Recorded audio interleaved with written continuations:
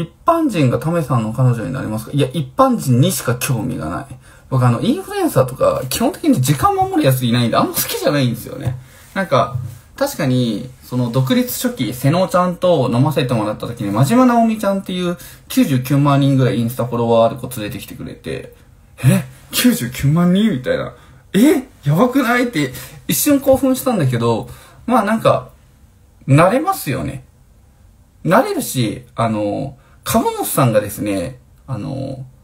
すごくつまらないぐらい女遊びしないんで、あの、女遊びする仲間が、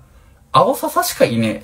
え。し、青笹キャバクラなんで、僕キャバクラの人そんなに得意ではないんですよ。なんでかっていうと、そのまず整形側があんま好きじゃないっていうことと、あともう一つが、その自分の力で笑わしたいっていうのがあって、お金をチャージしちゃうと、まあ笑ってくれるじゃんか、僕の話が面白くても面白くなくても。でも僕は自分の力でその子たちのどこに笑いのポイントがあるんだろう、どうなったら僕と喋りたいって思ってくれるんだろうって考えながら喋るのが好きなんですよ。なんで、お金を払って女の子と喋るっていうのはあんまり好きじゃないし、ガールズバーとかも、なんか無理やり連れてかれて人生で